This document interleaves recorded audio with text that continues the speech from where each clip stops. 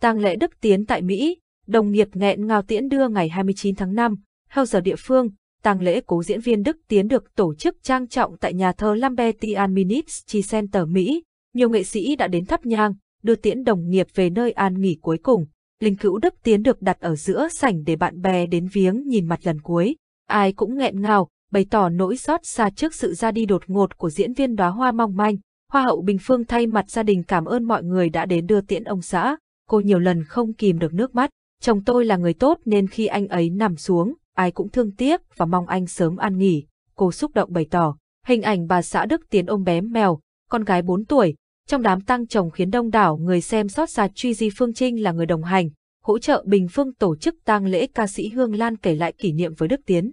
Theo đó cô cho hai lúc mới gặp, đồng nghiệp gọi cô là chị và xưng em. Sau đó, Đức Tiến đổi thành gọi cô xưng con. Nghe tin Đức Tiến mất, tôi bất ngờ, ngỡ ngàng, không tin đó là sự thật và cầu mong đó không là sự thật. Tôi không dám đọc tin tức về Đức Tiến vì mỗi lần đọc nước mắt chảy ra. Hương Lan nghẹn ngào tâm sự, cô mong muốn dư luận dừng lại những thông tin trái chiều về Đức Tiến trên mạng xã hội thời gian qua, vì người đã ra đi, nghĩa tử là nghĩa tận, Hương Lan nói. Ca sĩ Thanh Thảo rơi nước mắt khi chia sẻ về bạn thân, thấy bạn nằm ở đây, tôi mới tin đó là sự thật, xin gửi lời chia buồn đến mẹ của Đức Tiến, Bình Phương và bé mèo. Đức Tiến là người tốt tính, nhiệt tình, hay động viên mọi người, tôi mong bạn được những điều tốt đẹp, còn nhiều điều răng dở, hứa với vợ con, bạn bè mà Đức Tiến không nói lời từ biệt. Qua ngày mai đây, Đức Tiến chỉ còn trong tim của mọi người. Ca sĩ Nguyễn Hồng Nhung chia sẻ nỗi đau lòng khi chứng kiến con gái Đức Tiến vô tư, chưa biết cha qua đời.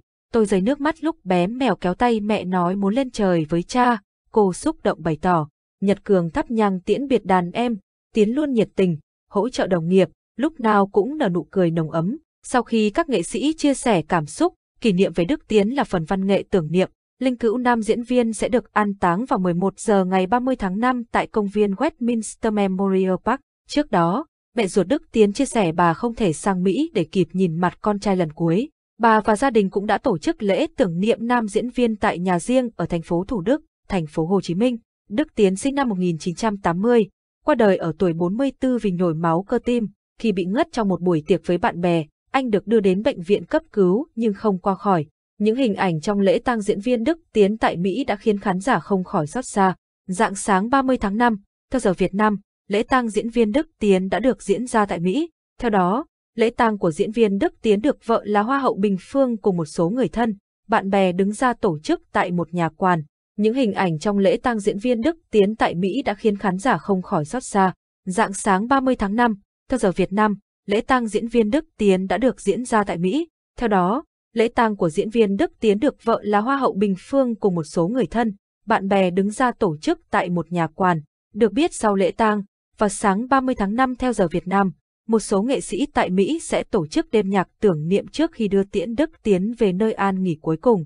Trước đó, đại diện ban tổ chức lễ tang Đức Tiến, MC Khánh Hoàng cũng lên tiếng nói rõ sẽ không bàn đến ba vấn đề mà chỉ tập trung thông tin tang lễ của cố diễn viên. Chúng tôi chỉ cung cấp thông tin về tang lễ của Đức Tiến, chúng tôi không đề cập đến ba vấn đề sau, mong mọi người không bình luận, không hỏi hàn nhắc tới, thông cảm cho chúng tôi. Thứ nhất, chúng tôi không đề cập tới nguyên nhân Đức Tiến đột tử. Thứ hai, chúng tôi không đề cập tới việc quyên góp tiền cho vợ con Đức Tiến là Bình Phương và bé mèo.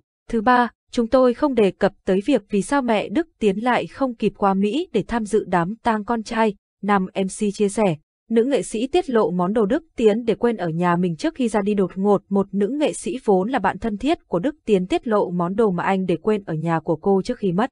Đã hơn một tuần kể từ ngày Đức Tiến ra đi, nhiều nghệ sĩ cũng như khán giả vẫn chưa hết bàng hoàng, tiếc thương. Nam diễn viên mất đột ngột ở tuổi 44, không kịp một lời chăn chối với gia đình, bạn bè. Trên mạng xã hội, nhiều nghệ sĩ từng làm việc với anh đã có những bài đăng gợi nhắc về những kỷ niệm đẹp. Trong số đó có diễn viên Hải Thúy Nga, nữ nghệ sĩ vừa chia sẻ trên trang cá nhân về món đồ mà Đức Tiến để quên ở nhà cô trước khi anh ra đi. Cụ thể Thúy Nga cho biết, lần cuối gặp nhau trò chuyện, Đức Tiến để quên ở nhà mình cái mắt kính rồi tặng mình ba quả mãng cầu do chính tay Đức Tiến trồng.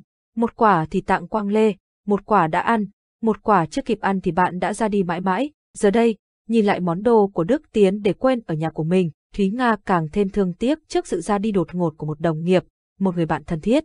Nhìn lại hình càng thêm đau lòng, một khán giả để lại bình luận. Ngoài ra qua chia sẻ này, Nhiều khán giả còn nhận ra Đức Tiến lúc sinh thời là người sống hết lòng, quan tâm đến bạn bè. Khi anh nằm xuống, nhiều nghệ sĩ vốn gắn bó với anh đã chung tay để lo cho đám tang diễn ra chỉn chu cũng như giúp vợ và con nhỏ của Đức Tiến đi qua thời điểm khủng hoảng, mất mát này. Sau thời gian đợi hoàn tất các thủ tục, tang lễ của Đức Tiến tại Mỹ sẽ diễn ra vào ngày 29 tháng 5. Hiện, diễn viên Thúy Nga cùng nhiều nghệ sĩ đang sinh sống tại Mỹ đang sắp xếp thời gian để đến tiễn biệt người đồng nghiệp đáng mến. Vài ngày trước, Thúy Nga từng lên tiếng giải thích về lý do chưa đi viếng Đức Tiến khi có khán giả thắc mắc. Nữ diễn viên cho biết, tôi bàng hoàng từ hôm qua tới giờ, sốc tâm lý luôn. Đức Tiến mất, cả giới sâu biết sốc, không tin được vì Đức Tiến đang rất khỏe mạnh. Nhiều người hỏi tôi sao không đi viếng Đức Tiến. Trời ơi, Đức Tiến vừa mất xong. Ở bên Mỹ này phải đợi bệnh viện trả về cho người thân thì gia đình mới làm tang lễ được. Đến người nhà còn chưa được vào thăm Đức Tiến nữa là làm đám tang. Nhiều người hỏi kỳ cục quá. Danh ca Hương Lan, Thanh Thảo bật khóc viếng diễn viên Đức Tiến sự ra đi của diễn viên Đức Tiến để lại không ít tiếc thương cho bạn bè, đồng nghiệp lẫn khán giả. Dạng sáng 30 tháng 5, theo giờ Việt Nam, lễ tang của diễn viên Đức Tiến tại Mỹ đã được diễn ra tại Mỹ. Lễ tang của diễn viên Đức Tiến được tổ chức tại nhà quan, sau đó linh cữu được mang đi an táng. Nhiều nghệ sĩ như danh ca Hương Lan, nhạc sĩ Lê Quang, ca sĩ Thanh Thảo đã đến viếng nam diễn viên phim Đóa Hoa Mong Manh. Tại lễ tang, danh ca Hương Lan chia sẻ, Đức Tiến là một người thân thiện, gọi nữ danh ca bằng cô và xưng con.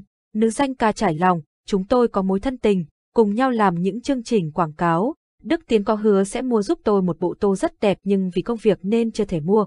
Và tôi nhớ rất rõ là lần cuối cùng chúng tôi gặp nhau, Đức Tiến còn nói là cô ơi con nợ cô rồi, để con mua cái khác cho cô nhé. Hai cô cháu chúng tôi còn chụp hình cùng nhau nữa, mà khi hai cô cháu chụp thì Đức Tiến khom người xuống, nói là do cao quá nên khom người xuống để đỡ ngại. Khi Đức Tiến mất, tôi sốc và không ngờ được đó là sự thật. Người đi thì cũng đã đi rồi, bây giờ mình nên đặt tình yêu thương cho Bình Phương và con gái của Đức Tiến nhiều hơn. Mấy ngày nay tôi gặp những tin tức mà không dám đọc, cứ thấy tới là nước mắt tôi chảy ra, đó là tình thương của tôi dành cho Đức Tiến. Bây giờ người đi cũng đã đi rồi, nghĩa tử là nghĩa tận, những gì buồn thì tôi cầu mong mọi người bỏ qua, đừng có điều gì tiêu cực để Đức Tiến được ra đi thanh thản.